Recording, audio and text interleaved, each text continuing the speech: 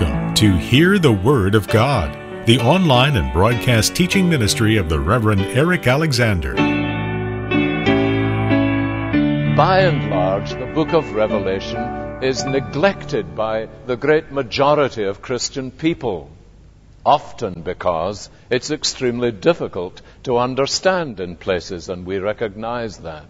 But at the other pole, there are those who are obsessed with the book of Revelation, who believe that it is probably the only part of Scripture that is supremely relevant to this particular age in which we live. And down through the ages, people have been like that. They have felt that their generation has seen in the book of Revelation their own particular period of history being fulfilled and no one else's.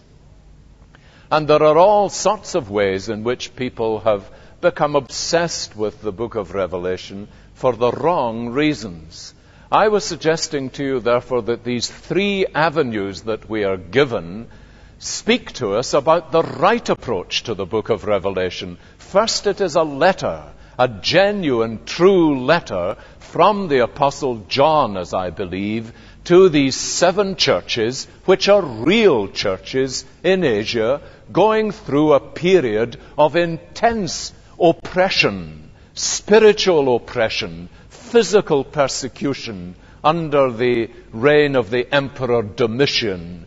There was wave after wave of bloody persecution in the early church. And many of these people's contemporaries, their families, had died under this oppression. And they are therefore being written to by the Apostle John. And do notice he is writing to them for the practical, pastoral purpose of encouraging them he is not playing tricks with symbolisms to them or presenting religious or theological puzzles to them. He is writing with the specific purpose of encouraging them in the midst of their trials and difficulties. This is why he says, for example, in verse 9, I, John, your brother and companion in the suffering and kingdom and patient endurance that are ours in Jesus. I was on the island of Patmos. Now they knew very well precisely why he was there. And this letter, not just this part of it, nor the seven letters to the churches that we know quite well in chapters 2 and 3, but the whole book of Revelation is in the nature of a letter to these seven churches and beyond them to us. But the really important thing about interpreting the book of Revelation, therefore, is that we need to ask the same question that we need to ask with any part of Scripture when we are interpreting it. What did it mean to those to whom it was originally addressed? Now, whenever you have some idea of interpreting the book of Revelation in a way that would mean nothing to the people to whom it was originally addressed, you should be suspicious of that interpretation because it must mean something vital to the people originally addressed by the Apostle John.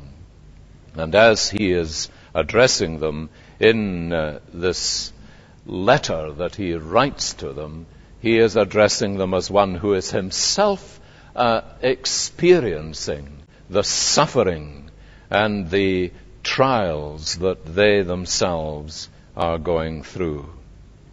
I was suggesting to you also that it is a, a prophecy and it originally is therefore a word, and this is one of the significances of it being a prophecy, that comes from God Himself.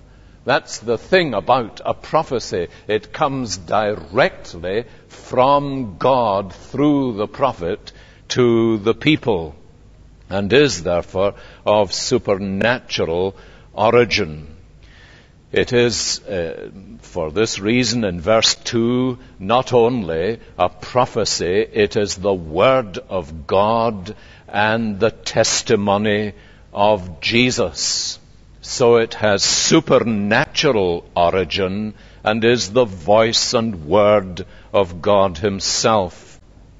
Now, the idea of revelation being prophecy, if I may just um, tax you a little bit, and it may be important to some and less important to others to, to get hold of this. The idea of revelation being prophecy is important for a number of reasons. One of them we touched on last week. That is that the prophet not only foretells the future, which he most certainly does, and any suggestion that there is no supernatural forth, foretelling of the future is due largely to a presupposition that it is impossible for somebody to foretell the future. That's why you find that prophetic foretelling in the Bible is treated with suspicion by secular people and by secularly minded theologians. But we are dealing with a God who is the creator and controller of the past and the present and the future. And therefore, it is possible for somebody like Isaiah to look into the future several centuries in advance and see the glory of the Lord Jesus Christ from eight centuries before. Now, of course, the reason people will tell you that in Isaiah 53, Isaiah cannot possibly be speaking about Christ is that eight centuries intervene. But of course, the prophet is one who foretells the future given to him by God. But he also foretells, that is, he speaks to his own generation and John in Revelation is acting as a prophet in that sense. He is both addressing his own generation and he is foretelling the future. But there's another reason that it's important to grasp that Revelation is prophecy. Revelation is prophecy in this sense that frequently people would categorize the book of Revelation as what is called, and this may not be of great interest to some of you, but it's important for others, I think, apocalyptic. Now, you may know that the very first word of Revelation chapter 1, the word the revelation of John, is in the form in which the Greeks would have spoken, the Apocalypse of John. And you sometimes find the title, in fact, Professor Torrance's commentary on Revelation is called The Apocalypse. And there is an adjective from that, apocalyptic writing, and there are many apocalyptic writings, most of which you will find in the Apocrypha. Now, most of you will know that in some Bibles there are bound together not only the text of Holy Scripture, but books of the Apocrypha. Very interesting that uh, most of them are called by the name of some distinguished uh, figure from the past, like uh, Enoch, Abraham, Esdras, so on. Now, apocalyptic writing was a form of literature which was familiar in the Old Testament, and there are marks of it in some of the books of the Bible, such as the book of Daniel, where you find that there are these visions marked by extraordinary symbolism, some of it sometimes almost grotesque, but apocalyptic literature is marked by several things. It's marked by being rich in mysteries, sometimes somewhat bizarre symbolisms. It was written under an assumed name like Enoch or Abraham, Esdras, or so on.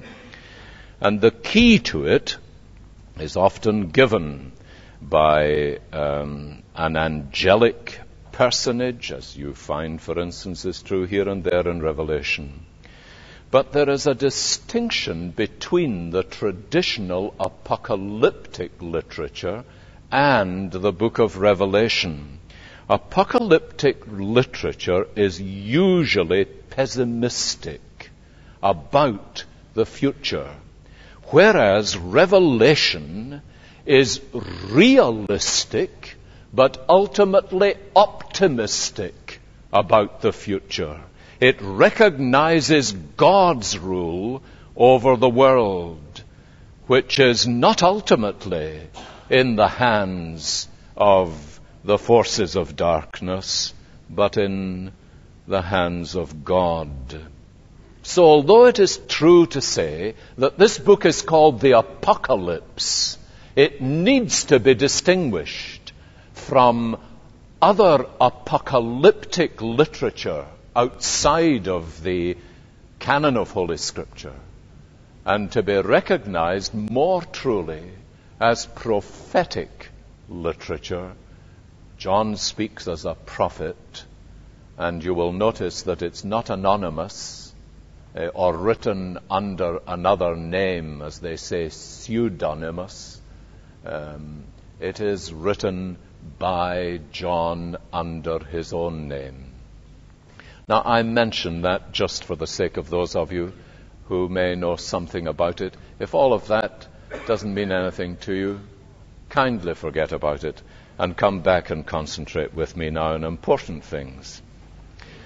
Above all other things, the Apostle John has a theological argument with which he wants to strengthen his fellow believers. And that theological argument is very simple, you will be relieved to hear. Because the theological argument is simply Jesus. This is how he is going to strengthen his fellow believers in the midst of trials and tribulations and days of great pain and even facing death itself.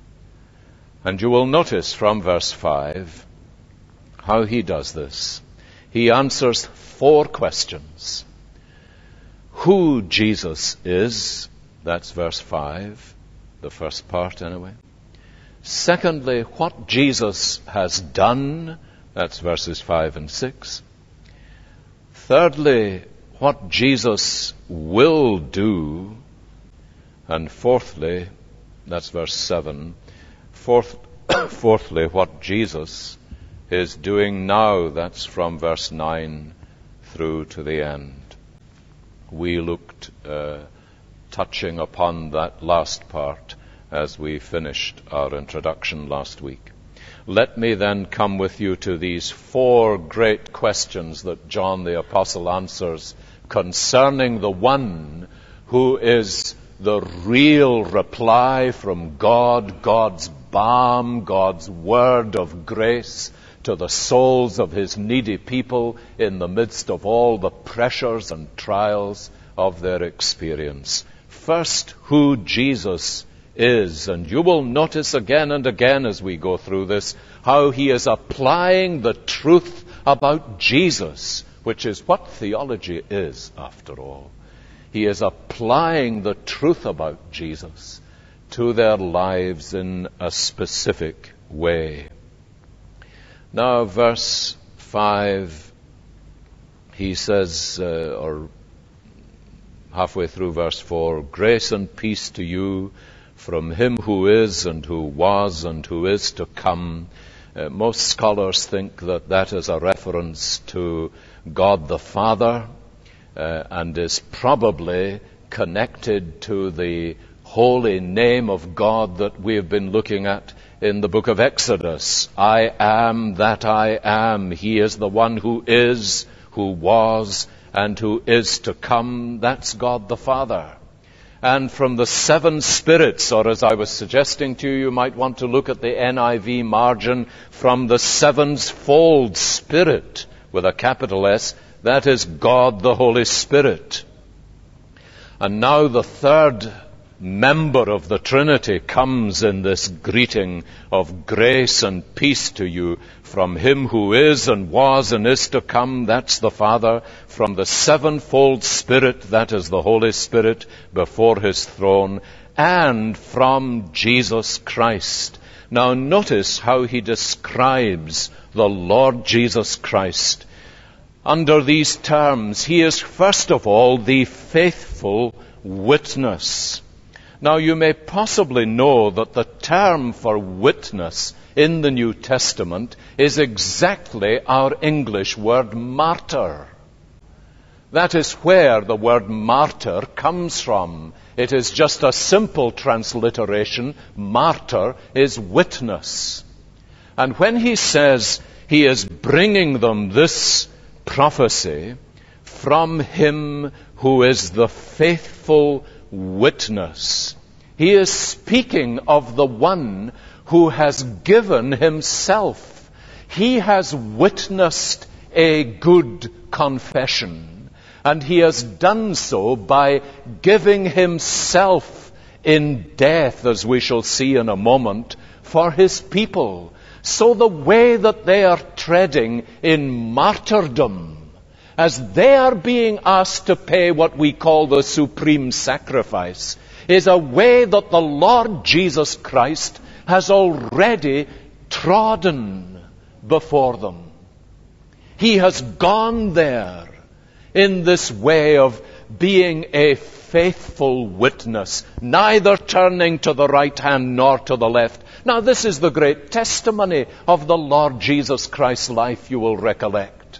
And what God is saying to these people when He calls them on stage by stage is you are to follow the example of the Lord Jesus, who would not be deflected from obedience to his Father's will, because this is the great temptation of people in days of pressure and persecution and opposition and pain and possible death, that they would be deflected from obedience. Now, secular history tells us that that's precisely what was happening to these people. They were being threatened with all sorts of things if they remained faithful promised all kinds of things if they would abandon their faithfulness.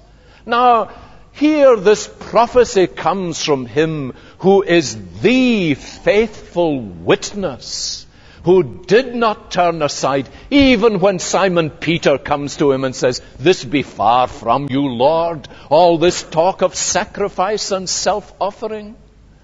And Jesus says, Get behind me, Satan when they cried to him, Come down from the cross if you are the Christ, whose voice do you think that was?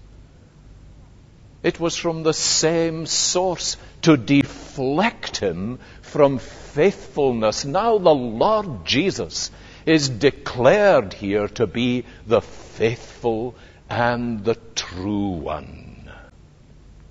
And it is in that category that he is described. He is precisely the one who has left his footprint on the pathway of faithfulness unto death. And that was no mere talk for John's contemporaries. This was the bitterest reality. Being faithful unto death, and he will give you a crown of life is what they were speaking about as their experience. My dear brothers and sisters, we know very little of this sort of thing in our Christian living. Is it not true? We speak about opposition and it's very real. And about persecution and that can be very real for many people. But faithfulness unto death is something that uh, very few of us know.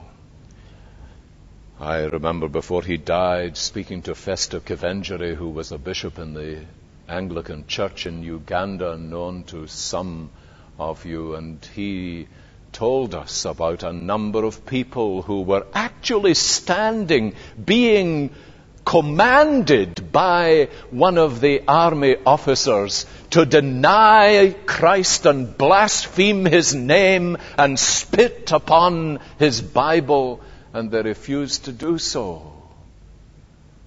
And they became faithful unto death before Festo Kivengere eyes. Some of them people he had led to Christ. Can you imagine that? And they were hacked with machetes to death and dispatched into the next world. Now that's something we know so little about in our own experience. We, we talk about the cost of discipleship.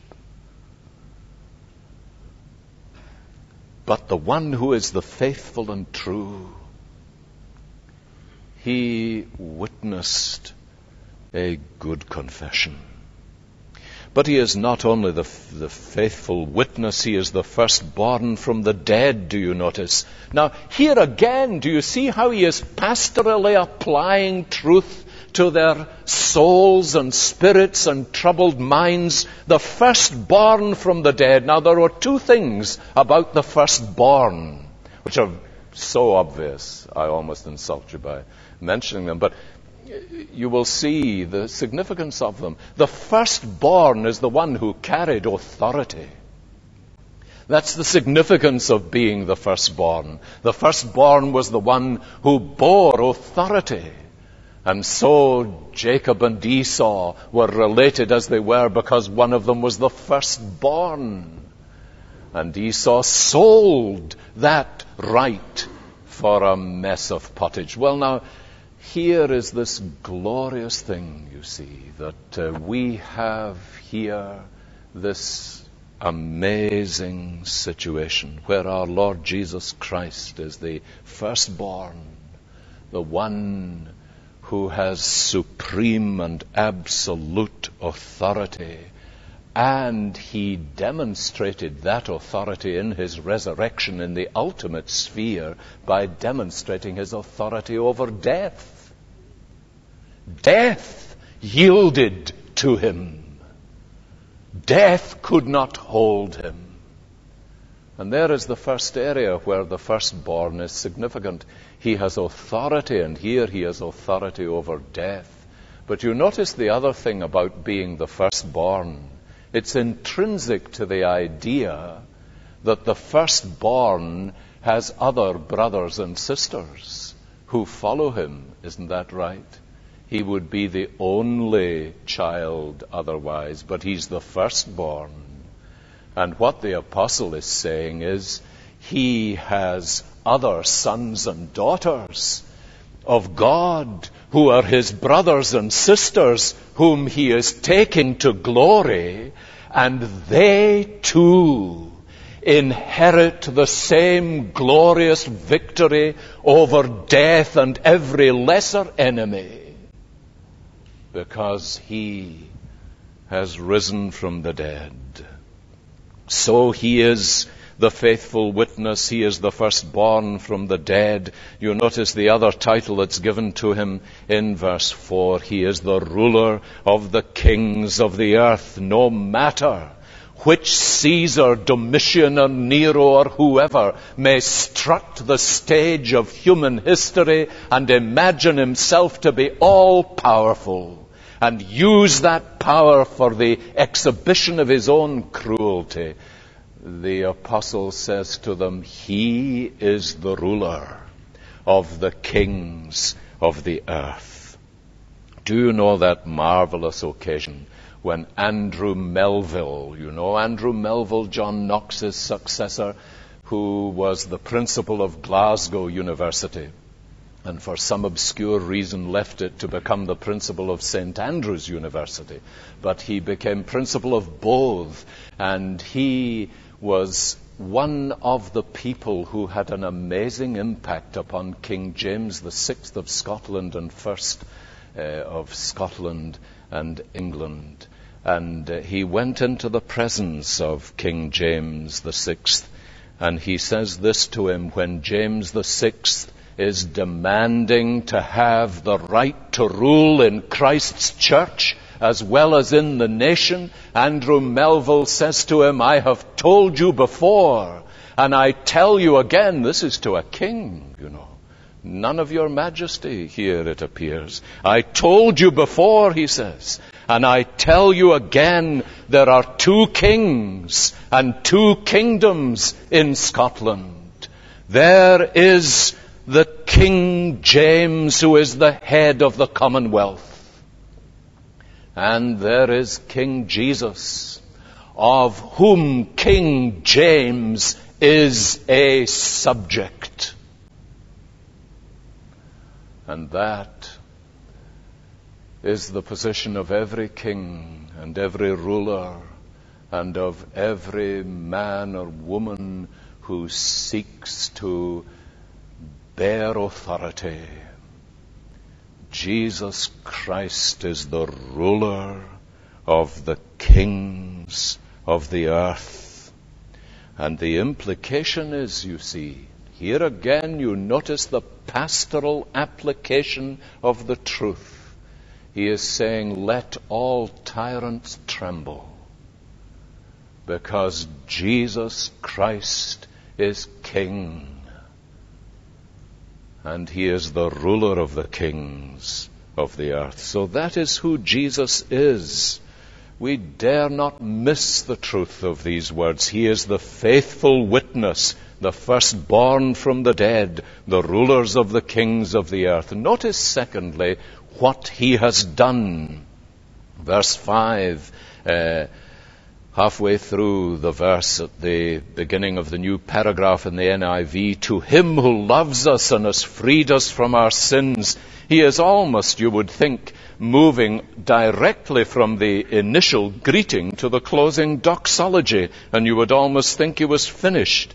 But what he is now caught up with is the glory of what the Lord Jesus Christ has done, and it only goes into the language of doxology for the apostle. To him who loves us, not loved us as some translations have it, but loves us, it's present tense, and has freed us from our sins by his blood, and made us to be a kingdom and priest to serve his God and Father. Now notice the point of this. Again, you see pastorally. What he is recognizing is that the world may hate them. They may experience the bitterness of the hatred of all the opposition. But he says the thing that matters above all else is that he has set his love upon you. He who is the ruler of the kings of the earth has set his love upon you and loves us and has demonstrated that love in the most remarkable way. He has freed us from our sins by His blood. Now, that, you see, was what enabled them to face death above everything else, what enables somebody to face death with equanimity is this knowledge that they have been freed from their sins by the blood of Jesus. Because all of us have guilt and shame and a conscience that accuses us. And you know how we will say to people sometimes if they have been guilty of something that is outrageous, I do not know how he can live with his conscience. But what the Apostle John is speaking about here is not living with your conscience, but dying with your conscience. And the reason they are able to face death with peace and grace and joy is that He loves us. He continues to do so and nothing in heaven or earth or hell will change the reality of the love of Jesus. And He has freed us from our sins by his blood. So the Christian is more free in his prison bonds than his captors in their apparent freedom. You notice this? Here is another pastoral medicine for the souls of God's people, the love of Christ, the redeeming work that He has accomplished by His blood. He loves us, He has set us free, and He has made us to be a kingdom and priests to serve His God and Father. It may be that the translation should be, He has made us a kingdom of priests. That is, He has given to us the highest and most noble of tasks and ministries and privileges. That is, to serve or worship His God and Father. Do you notice just in passing the ultimate aim of our Lord Jesus Christ? His ultimate aim is not to relieve us of our unhappiness, although redeeming grace frequently does that. His ultimate aim is not even the forgiveness of our sins. His ultimate aim is to produce a kingdom of priests. That's the priesthood of all believers whose life will be noted for glorifying and worshipping and honoring and praising the God and Father of our Lord Jesus Christ. That is what redemption is for. It is for worship. Thirdly, what will Jesus do? Verse 7. Look, he is coming again, the present continuous tense. He is coming with the clouds, and every eye will see him, even those who pierced him, and all the peoples of the earth will mourn because of him. So shall it be. Amen.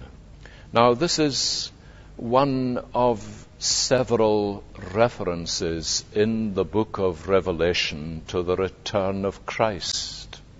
Very important to notice that as such, it is not true to say, but every page of the book of Revelation is about the return of Christ.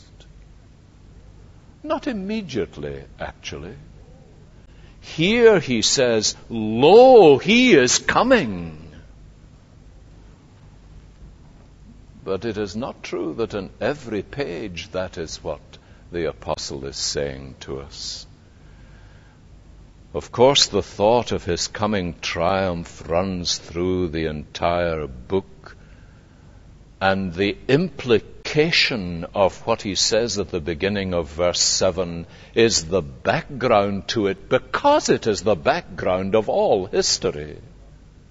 That history is not running round in circles. History is going in a particular direction. You know, there are many people who imagine, and some people have written extensive books on the circular nature of history. One of them says, for this reason, history teaches us that history teaches us nothing. History is going round in circles, he is saying. That is not what Scripture tells us history is going in a particular direction, moving towards what the Bible calls the day, the great and awful day of the Lord. And as a background to life and all our thinking about history, there is this truth. He is coming. Now, what does that mean? Well, it means simply He is on the way. That's what he's saying. He is on the way, he says, you realize. This is the ultimate truth about history that Christ Jesus, who loves us and has washed us from our sins and made, made us a kingdom and priests unto God his Father that we might serve him, he is on the way back to this world. Now that's a vital thing for people who are in the midst of pressures and trials and distresses. They sometimes feel bereft and left. They sometimes feel there is no meaning to life.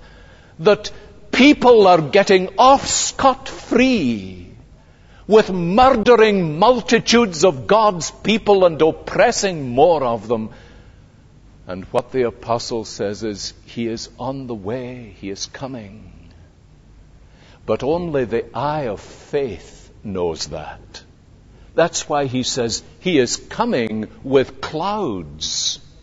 It's the eye of faith that is able to penetrate into the, the clouds by the truth of God. And to say, He is coming. And with His coming, there is coming a day the day when his enemies will have to look into these burning eyes we read about last Wednesday and see him in his glory. And this, he says, is something that no human being will escape. Every eye will see him. Even those who pierced him, and all the peoples of the earth will mourn because of him. Now, how then are they to think about their oppressors? Not primarily with godless anger Isn't it an amazing thing how some of these people in Uganda, because I suppose that's the nearest in history to us of real oppression, how they looked at those who were about to hack them to bits and they said, We love you because our Savior loves you. So the way to respond to them is not with godless anger, nor with godless envy, as sometimes we can do. Do you not find that's a reality in a godless world? Here are the powerful, the prosperous, those who apparently get off with sin with impunity. And we say, how extraordinary the godly live in days of difficulty and persecution deprived in so many ways, he says, they are not to be viewed with anger or envy, but with pity. Because the day is coming when they will see him. Now, lastly, and we really looked at this last week, what Jesus is doing now John says that on the Lord's day, that's significant too, incidentally, because you know there was a day that was marked in pagan celebration as Caesar's Day. And the Christians established the Lord's Day. And on the Lord's Day, he says, I was in the Spirit and heard behind me a loud voice, and he sees this figure we concentrated on for a little last week, the picture of the unveiled Christ. No longer Christ veiled in flesh. No longer Christ in his humiliation, but Christ in his exalted glory. And John tells us he cannot bear the sight he fell down as though dead because of the burning glory of the Son of God.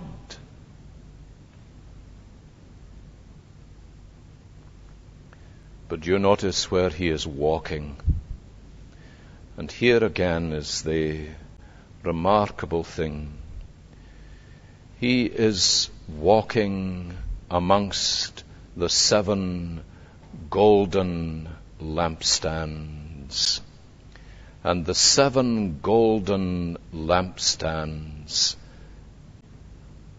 are, of course, the seven churches. We are told about this.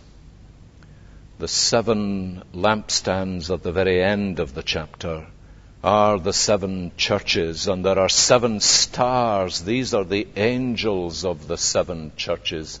We don't think too much about angels today, but what he is saying is that there is an angel.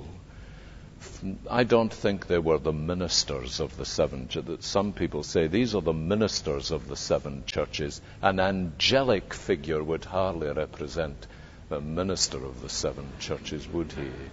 But he says these are the angels. They are real angels. Do you remember how the Lord Jesus found this in his testing? That God the Father didn't send his disciples to him in the wilderness. He sent the angels to minister to him. And to his beleaguered people in the church, there is an angel sent to each of them. But the Lord Himself is in the midst of them. And He is the one, He says, who is living and was dead, and I am alive forevermore. And I hold the keys. I hold the keys of death and hell. Pilate didn't know that, did he? When uh, Jesus stood before him and he said, Do you not know who I am? These little jumped up officials like Pilate, they are always very careful that people should know who they are. And he said, Do you not know who I am? Do you not know that I have the power to crucify you and the power to release you? And Jesus said to him, You don't have any power at all except it were given to you by my Father. That's what makes strong men and women out of weaklings. That's what puts backbone into Christian living and behavior. That the one who loves us and has freed us from our sins holds the keys of death and hell. And he will never abdicate his throne. Let's pray together. Lord Jesus, we bow before you and acknowledge how great you are. How great is your glory. How great is your love. How great your redeeming grace. There is nothing that your children will need in this life that is not to be found in you. And we pray that we may glory in the Lord Jesus Christ and in nothing else in the world, that we may live for you. May your grace and mercy and peace be our portion this night and always. Amen.